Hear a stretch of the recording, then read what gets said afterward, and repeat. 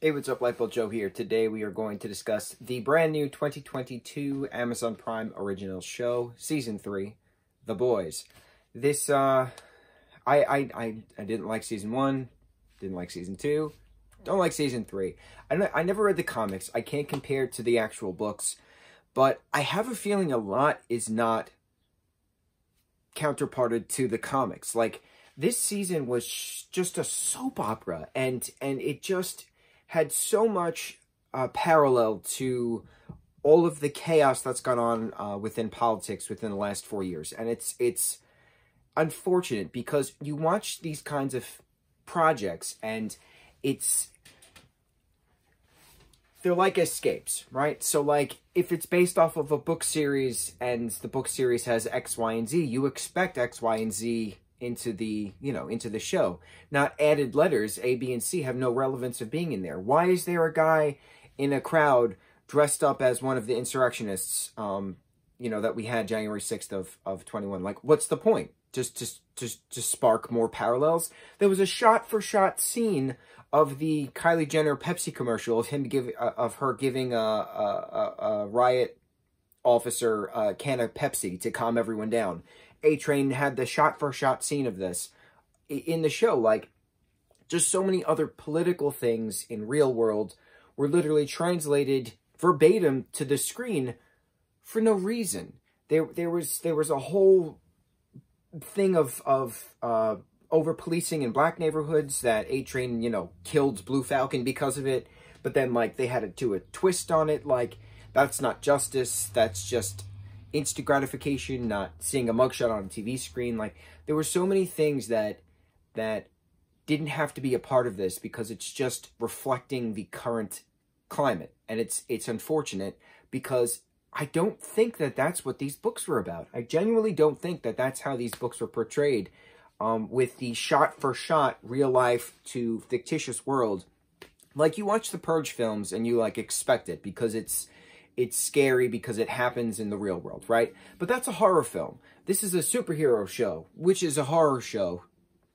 The, the fight scenes were great. The blood and guts was great, right? Really neat, interesting ways of killing people, but like celebrated in a sense. And it's it's it's not the purge. There's the political aspect of the purge, which makes sense in the representation of the political climate. But then there's The Boys, which is for some reason amplifying it, which doesn't make sense, especially within the plot points, because the whole plot of the series is how do you kill Homelander?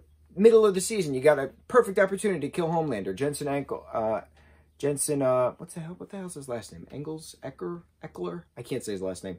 He, uh, he plays his character Soldier Boy, who turns out to be the biological father of Homelander. And then his grandson Ryan is, you know, being shuffled around from place to place because Butcher's wife um, bore Homelander's son, Ryan, and then Butcher made a promise to Becca to take care of Ryan, and then Butcher needed his CIA connections to help hide Ryan from Homelander, who eventually got, you know, to him at some point. And there was the whole ending scene of, of literally vaporizing a guy's head in the middle of a crowd, and then they all cheered.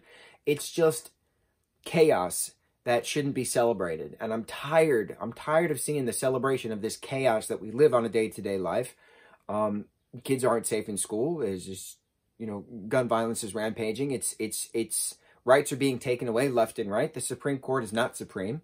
Uh, one of my favorite tweets is, is, in regards to Supreme Court is I've had Crunchwraps more supreme than this. And it's, it's tired. It's tired. You, you watch these projects, you watch film, you watch TV to escape not to relive moments that are already pissing you off. And I think that's what's what's relevant to talk about is I think that all of this political climate aspect was brought into this show. I don't think it had anything to do with the comics. I I, I need someone to tell me who wrote who who read the actual books what the comparison is um, within the temporary V subplot and the compound V, the permanent V subplot of, of Butcher and, and Hughie taking the temporary V to fight Homelander to do all these things. I'm sure that part was a part of it, but like I, I I'm I'm I'm aggravated with this show. I, I haven't liked this show since season one. I watched the show because I'm three seasons in at this point. I might as well watch it until we're done, but some parts are entertaining. That's why I actually watch this. The actors do an incredible job. Incredible acting. The special effects, the the the kill shots, the uh, certain fight scenes are beautifully choreographed. I, I I'm very impressed with a lot of the show, but the story is awful, and I hate it, and I can't stress that enough. The other thing, you bring Noir's character in for half a second throughout this entire series, um, let alone the season itself. Give him the backstory of working with Soldier Boy back in the 80s, that he's the original member left of the team that is still, you know, fighting within Vought Tower. But, like, well, he just, he has these visions of all these cartoon characters surround him now. Why was that not brought into the past? I don't, I don't get it. I don't get it. I don't get it. I'm going to say exactly what I said within one of the last reviews we did. Pretend I'm Dacre Mont Montgomery. I'm in season three of Stranger Things, a glorious, perfect show on Netflix. I'm screaming, looking up at the Mind Flayer, screaming, I don't understand. That's how I feel a lot of watching this eight episode season of The Boys. I don't understand. I don't understand. This became a soap opera, and I don't think it was supposed to be. I don't think it was supposed to be. I, I can't compare to the comics, but I genuinely feel that these added elements of of realism is is irrelevant to the escapism. Ooh, I liked it. I liked it. I like it. I like it. It's good. It's a good statement. I'm gonna I'm gonna keep up with that. Mm, yes.